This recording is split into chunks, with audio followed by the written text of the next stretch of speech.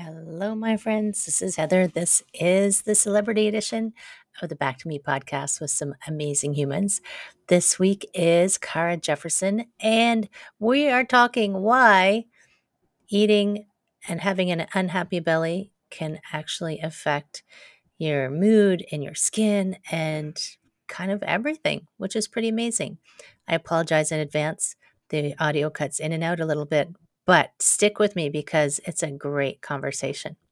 Uh, let me know what you think. Take care, my friends. See you soon.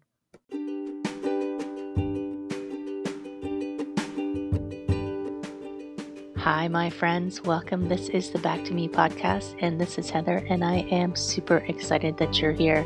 You are going to hear some tips and some tricks and some ideas to help you live your happiest and healthiest self. I call it Back to Me because when you are taking care of yourself, back to me, then you can take better care of others and we can all make the world a better place. This is Wellness Your Way, and I am super happy that you're here.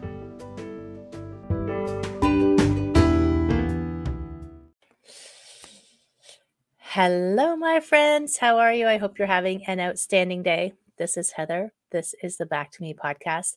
This is the super amazing celebrity edition where I talk to some awesome humans about things that I think you will find helpful and interesting. And as always, I always get to learn stuff as well. So back to me. So today's awesome human is Khara, right? Did I say it right? Khara Jefferson. Yes. Yay for me. Yay, you did good. And we're going to talk health, uh, wellness, obviously, but we're going to talk a little bit about gut health and all the things that could affect. I guess is that how it's is that how it goes? Do those pillars affect your health? But before that, wait. Before that, we want to know about you. Before I just dive into the hard questions. So, about Khara, how what brought you into this world of guts? Think before I even know the correlation between the gut and so many of our health problems, I was having my own gut issues and didn't really even know it. Um, when I was younger, we lived overseas in Malaysia for seven years. And I'm mentioning that for a reason. I'll get, you know, so fast forward a few years, we moved back to Louisiana. I was in high school. Then I went on to college, biology major, wanted to go to med school. But then I kept getting sick, like for these extended periods of time, a year. And finally, after having bloody diarrhea for over a month, losing weight, Oh like god. not wanting to eat because everything hurt my belly, um, I went and I saw the doctor, and they were like, "No big deal. You just had a stomach virus." And I was like, "There's no way." Number one, there's not a stomach virus that lasts for a month or close to a month. That's number one. And number two, most stomach viruses don't cause bloody diarrhea, Right. right? So I got mad at that visit and I, you know what? No, there's something wrong. And I found gas- a gastroenterologist. I actually called multiple until I could figure out who would see me first. And after I went, he set me up for a colonoscopy like the next, you know, week, right at the beginning. I had a colonoscopy, and he says to my parents that I had one of the worst cases of Crohn's disease that he's ever seen. What? Yeah. And for those of you who don't know, Crohn's disease is an autoimmune disease. It can affect you anywhere on the gastrointestinal tract from your mouth all the way to the anus. But with Crohn's disease, people usually develop these little skip lesions, which means it's not like a continuous piece of your gut, it's like in little patches. They become really inflamed. And so, you know, that's what led me on the on my journey. I eventually years and years later figured out that I also had a parasite, a strongyloides, which could have been potentially apparently it was very big. It could have been there for years and years even going back to the time that I lived overseas. Whoa. the things we don't know that are going on inside of us.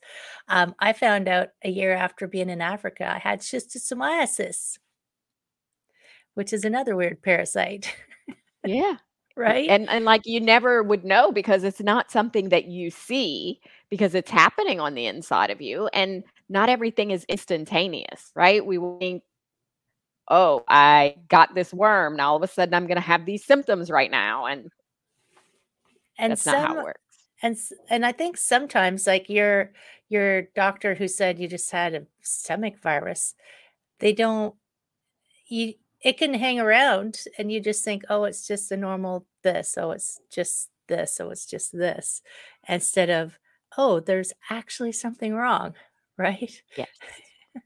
So when you found out, then what did you do? Like, now you actually have something you can do about it, or can you? Well, so, you know, the overwhelming message after I got diagnosed was number 1, it was that thing that I hated. It was the pitiful look that people would give you like, I'm so sorry to tell you, but you're just going to be on medications for the rest of your life and nothing is ever going to make it go away, but we put you on the medicines to control your symptoms. Right. That I was told over and over and over. So I did all the things. I took the medicines that they told me to take, bumped up, right? Prednisone to big guns, the biologics and the immunosuppressants, took all of them. And I never got better. I never got better until it had multiple surgeries. So multiple parts of my intestines taken out. And then um, I had 2 bowel perforations. And even after my bowel perforations, then I started to keep getting small bowel obstructions because nothing was passing through the way that it should. And with every surgery, you form scar tissue. And that scar tissue is called leads to something called adhesion. So imagine every time you have surgery, you're getting more scar tissue. And that very same scar tissue is what's causing the small bowel obstructions. So this vicious cycle. Right. So I said, "Nope, I'm not doing another surgery." I found a place in Florida that did some manipulative physical therapy on my abdomen to help break some of that up. And in the conversation, we she was explaining to me about other health modalities, and that led me to functional medicine. And so, do you practice it now, or do you did you just use it? I'm trying to remember. I was just using it at that time. Right? And how so I know when we go the direction of finding the ways to let our bodies heal ourselves because we're so impatient. You know, we always think medicine is faster, but when you started using that functional medicine, did you notice that you just suddenly started to improve, or Yeah, well, I learned a couple things. Learned first that oh my gosh, diet is huge, and the environment that we're in is huge. You know, your genetics have some part in this, but stress is also huge. And the only thing that I was ever told was, "Keep your stress low." Because that is the thing that's going to actually trigger you, but nobody ever gave me tools to actually do that. Right. Yeah, they don't know how to do it, they just know what you're supposed to do, right? Right. And they nobody ever told me, like, you know, my diet for many, many years consisted of bread crackers, rice, because those were things that my gut could tolerate. But me knowing any better, who knew I was actually really sensitive to gluten, you Oh, know? no. But I'm consuming all of these things because nobody that's the way that they were taught. So I don't actually blame any particular doctor. I blame the system as a whole because we're just not being educated properly. And I can also say that as a nurse practitioner. Like, we don't have nutrition classes Right. in our programs. But but we know that we I mean, we know instinctively nutrition affects our health and affects um I mean, and health isn't just, you know, the the weight epidemic that's going on, but um I liked so I I was looking at you were we were commenting on how many things your gut health affects besides your weight, right? And besides Mhm. everything. So, what did you find in your functional medicine? Like, what were some of your big surprises that, besides the stress thing, did they teach you how to deal with stress? And were there other things in there that you found were surprising? Yes. Yeah, so the power of the mind is huge, and I learned a lot about that, um, in functional medicine, but I also learned how, you know, when I was depressed and at my lowest, when I was going through all this stuff and my was inflamed, I was depressed because mood is related to gut, gut health. Um, the joint pain related to Oh. gut health, the memory problems or the brain fog gut health, skin, gut health. Like every single body system almost was related to what was going on inside of your gut. And did you heal it mostly? Yeah, so my Crohn's disease has been in remission for the past three and a half years. Wow. So still celebrating Yeah, and kidding. I feel fabulous.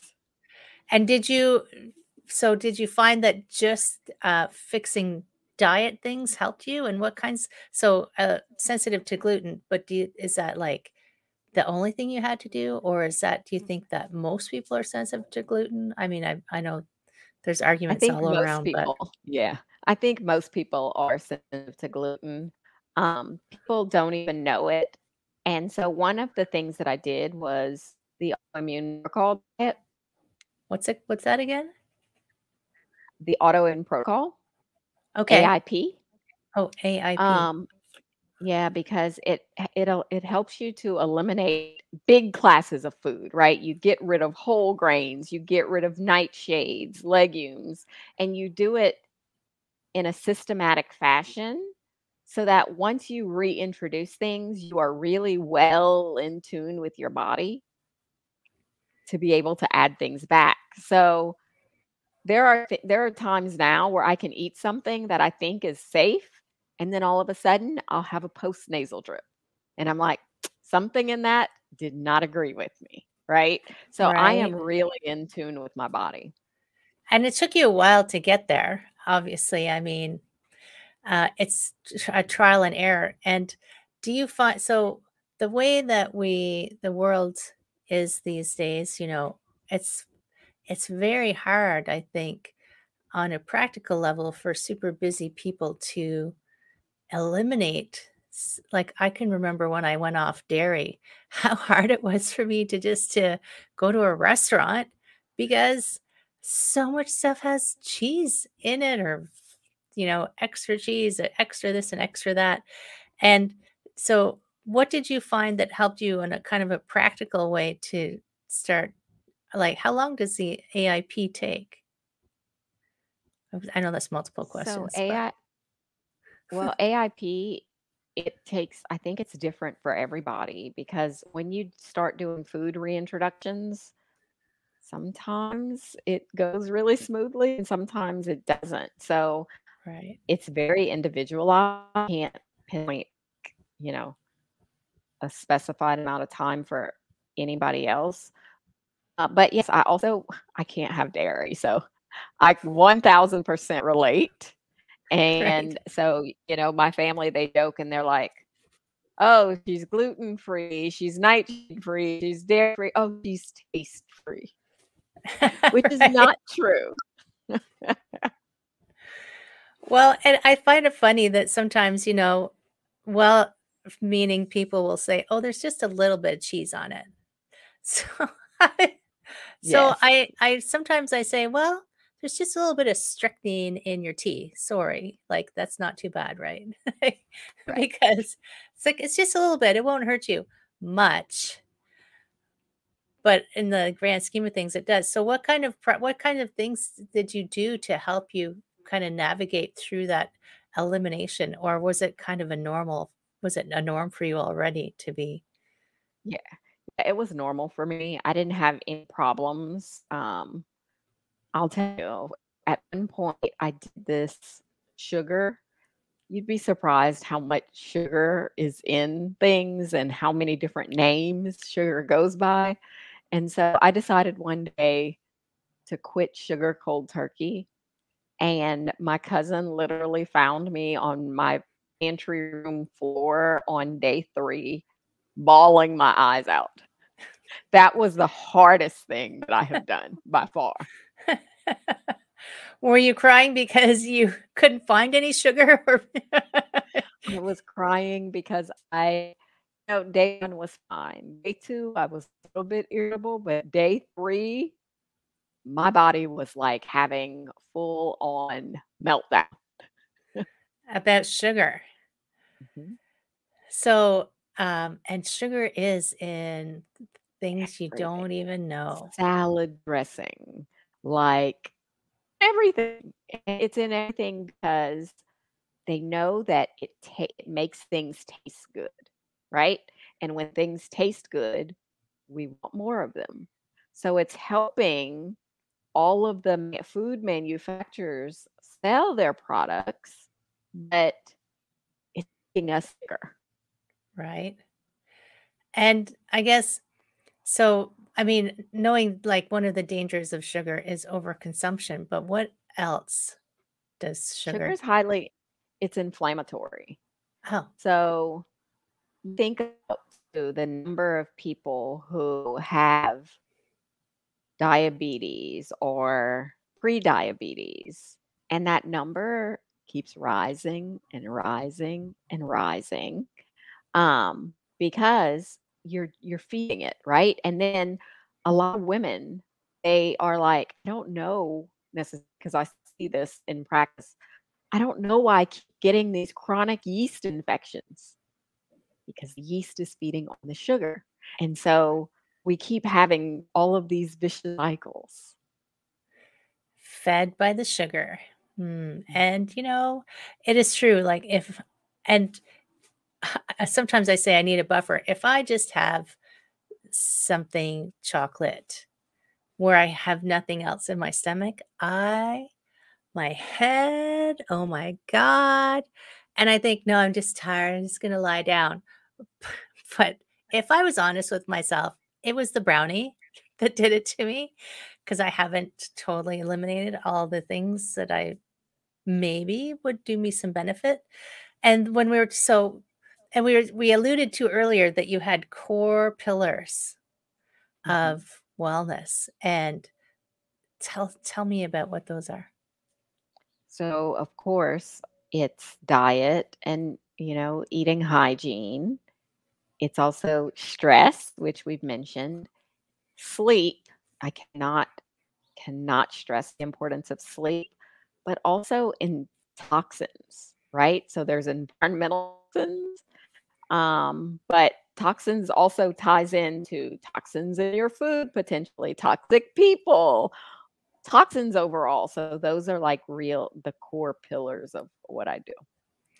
And so you said something interesting. You said eating hygiene. So is that just like being super clean, squeaky clean, and not letting even a sprinkle of parmesan on your plate? No, and you know that's so I'm glad you actually said that because I do want to address it. So even though I need for people to understand, my top 3 strengths are responsibility, discipline, and focus. So that's why for me doing an elimination diet and only very rarely cheating is easy. But other people it's not like that. I don't expect most people to be like me. Um, but when I say eating hygiene, I'm talking about the eating experience because most of us don't think about eating as an experience, right? Most people just think they eat because they have to and not that eating is this sexy topic. But I really try to make eating an experience. And so what what I mean by that is like when after I get a food, I sit down I wanna, like, sit down and I wanna take a couple deep breaths, and I wanna smell that food because smelling that food starts to get those digestive enzymes going, right? It's getting your body ready. It's like, "Oh" it's almost time to eat. And so that starts activating things early. But it's also making sure that you're not in McDonald's drive-through or in Chick-fil-A drive-through eating on the run and cramming it all in in 5 minutes. Right? Right. It's a it's an affair that you really wanna take seriously, and let's not even getting get into the chewing. And chew so, get into the chewing. Some people don't chew, and I yeah, it's are you supposed to chew 32 times? Is that a real thing? It is a real thing. The average American only chews a bite of food 6 times before they swallow it, when should be chewing 20 to 30 times per bite. You actually want food to get almost liq completely liquefied before you swallow it, and I've had so many people tell me, like, because I'll say that, and then they'll do it, and they're like "But I don't like the way that feels in my mouth." The more you do it, the more you get used to it, and it just becomes second nature. Well, and I can hear people, like, people who are super busy because there are people who listen to this podcast who, like, barely even have time to listen to the podcast. It's like, "How am I gonna have time to chew my food 20 times, and you're telling me to sit and enjoy my dinner?" Yeah. And you know what? The other thing is liquids, right? Right. When we when we go to restaurants, what's the first thing they do? They come and they take your drink order, and then you're drinking all this stuff, and then they keep refilling, right? That is so bad because when drinking large amounts of food with meals, it's diluting those stomach acids. And so then they're not doing what they should be doing. So my rule of thumb is get a smaller cup Right. just for mealtime, and then no more than 4 ounces. And so some people that's tricky, right? And so then I'll say, "Well, what kind of vegetables are you eating?" Because if you're eating something like cauliflower or broccoli that's or zucchini or squash, something with higher water content use that to your advantage. So if you've just had a piece of meat and now you're like, "Oh gosh, I need some water or something." Instead of grabbing that cup, put that piece of broccoli or zucchini or something, take a bite of that, and that generally will help settle things down. Wow. And I I never thought about the I'm just thinking about the water because I do I do enjoy a good beverage while I'm Yeah, while I'm having m something to eat, right? Yeah, most of it should be consumed outside of mealtime. So the Right. majority of your fluid intake should be outside of mealtime. And I like how and it's I like how you said, you know, you don't expect people to be as disciplined as you. I was like, "Whew." Although, it's funny because as humans, you know, we we know what's when we learn once you learn what will help you be happy and healthy and feel good all the time the the as you say, the discipline to actually follow that is challenging, and I I'm still working on why that is. I don't know why we're our own worst enemies.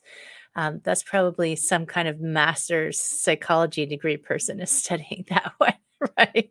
Well, And it you know it's okay. I think I think that's the problem is we set these high, high standards for ourselves. Not that anybody else has them, they're we're telling our own selves a story, and this is, like, something that I go through with my clients too, like, "What story are you telling yourself? Because is that really true, or is it that you made up your head?" So my like, mindset is really pivotal to all of this, and if you have done everything right, and today you are feeling great and your gut is doing good and you wanna go and have a meal and you know that that could potentially affect you later, go ahead. They have tools to be able to correct that and come home and get back on course. So it's about having you know, knowing what to do if you get off course. If you keep veering off course, a lot of times people need somebody to bring them back. Right, yeah, this is true. It's always good to have someone I was on a podcast on Tuesday, I'm like, "It's always good to bring a friend." Someone can help you get back on and if you've crashed, lift you up and help you out. And the other thing I was thinking about, the eating hygiene and the way you eat And these are all tied together. The way you eat, reducing stress, and sleeping are all I even count sleeping as a mindful practice. It's like It is. making sure that that so this is a tricky way. If you don't like sitting and meditating, these are tricky ways t just to meditate, like, have a meal and just have your meal. You know, when you're stressed out, deep breaths into your belly and get enough sleep. It's all ways to help your mind just turn down the volume. And Absolutely. That's shifting from that sympathetic go, go, go state, fight or flight, into parasympathetic rest, digest, you know? And if you are in that Oh. go-go all the time, it's hard to drop into sleep if you only give yourself, you know, "I go to bed at this time and I have to get up at this time." You don't even give yourself time to turn down the volume. Nope. And when I was thinking about toxins and sleep, I mean, light is a pollutant for when we're trying to sleep, and I don't know that everybody and uh, people always realize, um, how much better you can sleep if it's actually dark and quiet, right? Agreed. When it's dark so I like to so my I call it sleep hygiene, and so, you know, everybody needs a sleep routine, because if you have a routine, you're more likely to get the rest that you need, um, but it's setting the stage, just like with eating, you're prepping your body to start shutting down and ready to go to sleep. If you are eating right before you go to sleep, your body is not doing what it needs to do to be able It's to down. digesting. It's digesting, not getting ready to sleep. If you're watching the TV and 'cause this happens this used to happen in my house where the T this TV would be on, radio be on, and the iPad is on, and the computer is on. Number 1, all the blue light is not good for you when you're ready to go to sleep. Like, I have an idea, why don't we just take TVs out of bedrooms? The people who do that, I I know people are like? Actually, there have been studies that show that when people are not watching TV, not on gadgets, all of these things, that they are actually getting better quality of sleep than those people who have a TV on and are hearing that same TV message and light all night long. I have a a 10 o'clock rule that and actually my phone, if I'm on my phone, my phone, the screen goes to black and white at 10 PM, and I go, "Oh my god, why am I looking at this thing?" Because it's not attractive anymore, it's black and white, but it's also my, "10 PM, Heather, that's when everything turns off, and it's time to begin your routine." It is you like, we do it for babies, they have to have a routine. This is when they go to sleep, this is when they get up, but when we're grown-ups, we're like, "I don't need a routine. I can stay up till 1 in the morning and get up at 5 and go to work, and I'll be fine, I'll catch up on the weekend." No, you won't. You won't. You cannot ever get back sleep that you've missed. It's just gone. And so you can make it you can have a diffuser and diffuse some lavender or some cedar wood or, you know, one of those things to help you can take a nice bath, um, and relax, anything like that just to get to able to say sleep is really important.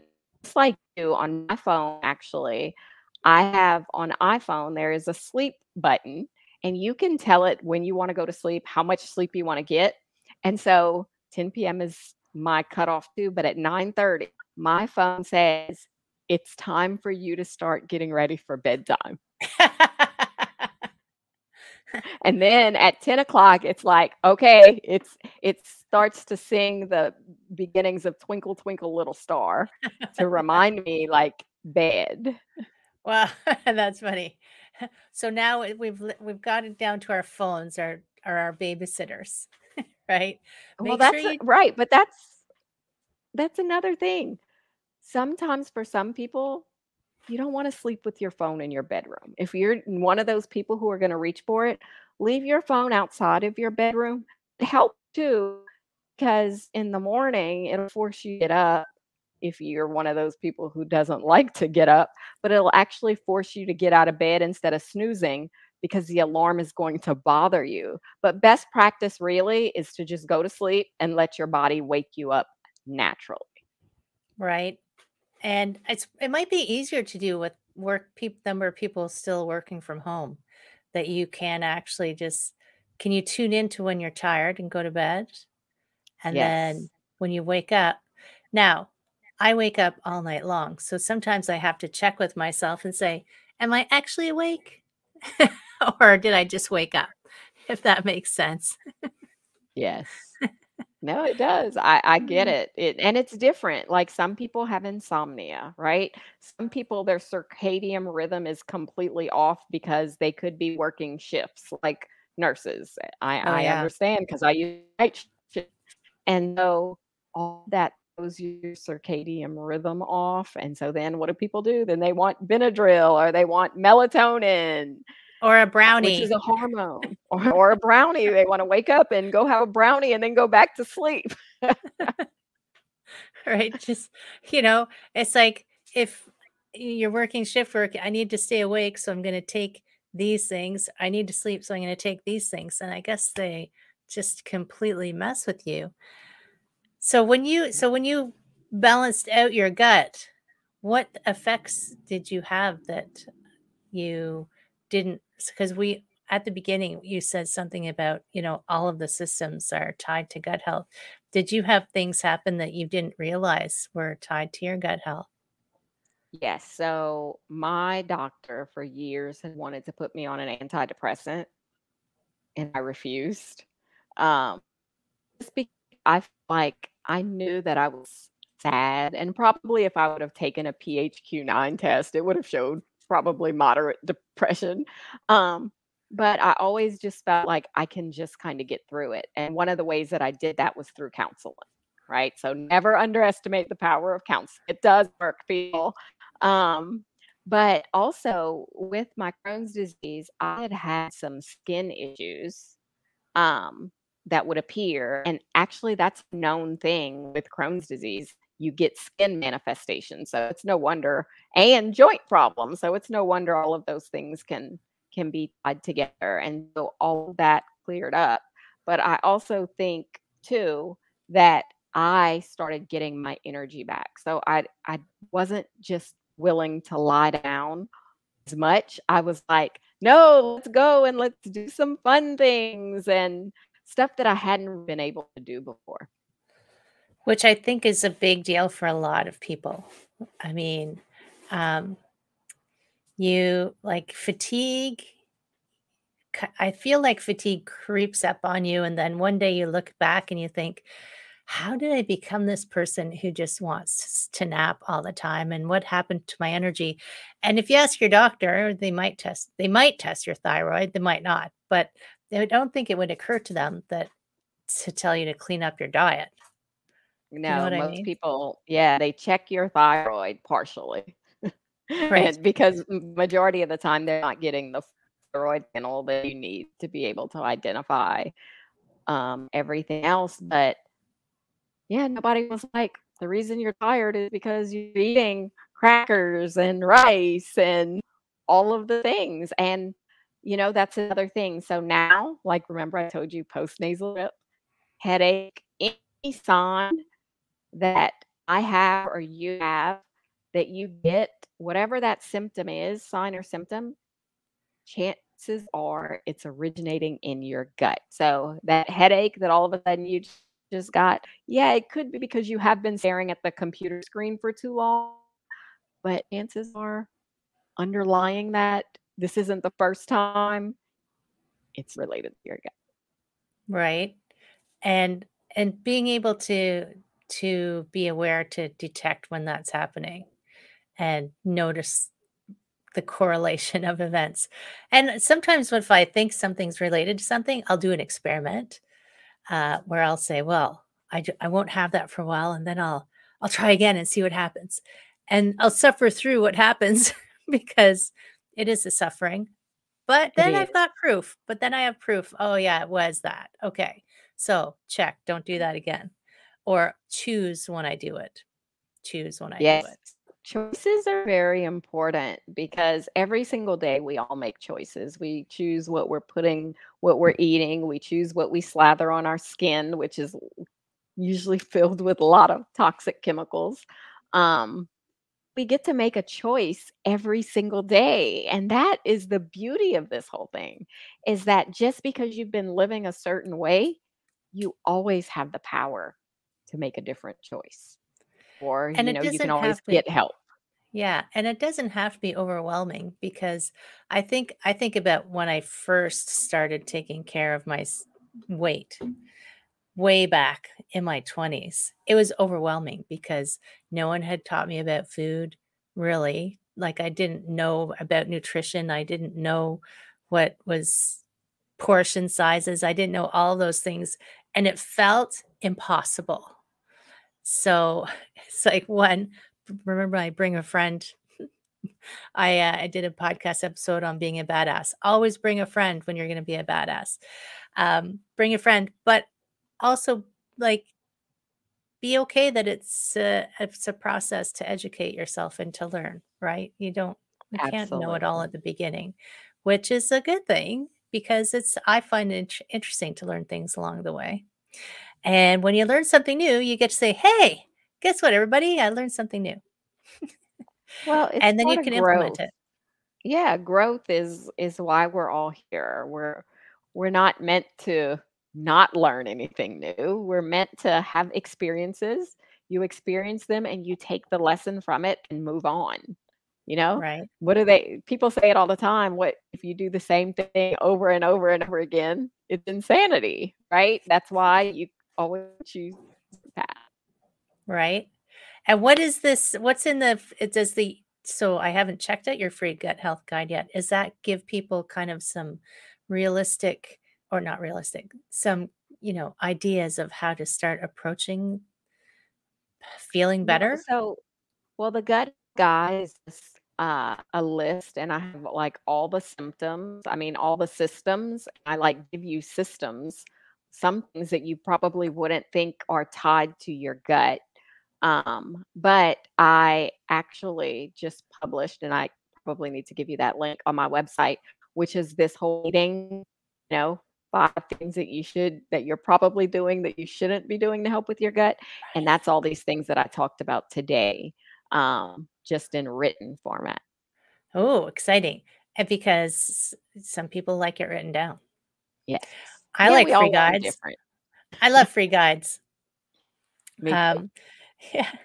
And if you were going so what I'm just thinking, like some a final like, if you were gonna say to someone one thing, a final word of wisdom to just help people maybe if they haven't started yet or if they have started and they're struggling, anything, a final word of wisdom to help people. It only takes 1 step. You only have to make 1 decision at 1 time, and this might be a little long, but other people will tell you maybe you can't do it, but if you believe inside of you that you need a change only need to do 1 thing. You don't have to do all of the things I mentioned today. Pick 1. You pick the 1 thing that you think is realistic and fits in with your lifestyle, and you do it, and you write it down, and you celebrate that win, and then once you're doing it consistently, then you can add in something. Totally true. Yes. Because well, 1 thing at a time, and I like the celebrate part. That's awesome. Yeah, you gotta celebrate. If we don't celebrate, it's it's the same thing. I tell people that you need to have vitamin J. That's what I was I learned that in school. Vitamin J, which is joy, right? You need joy in your life, and it doesn't matter if other people are gonna judge you. Sometimes I stand here and my nieces think I'm a horrible dancer, but it doesn't matter. I will turn off the music and I will dance, nobody watching, even if people are, because I'm comfortable enough with me and it makes me happy. So do Right? what makes you happy.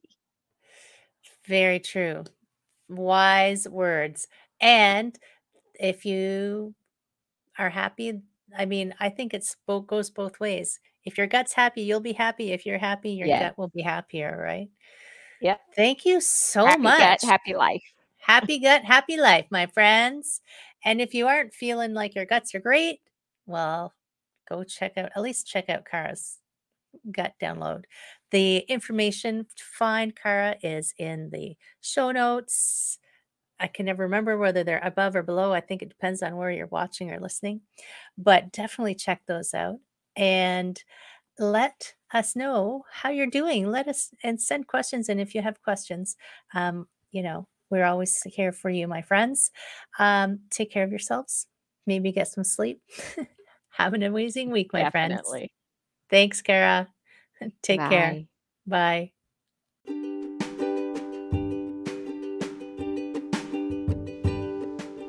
Hi, my friend. Thanks so much for listening to this entire podcast.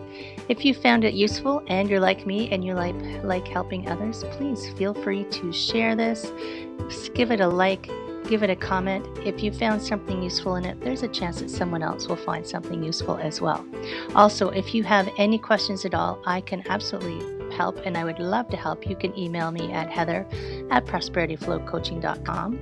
If you want more of this awesome content, you can follow me on Instagram, Heather Stewart Coaching.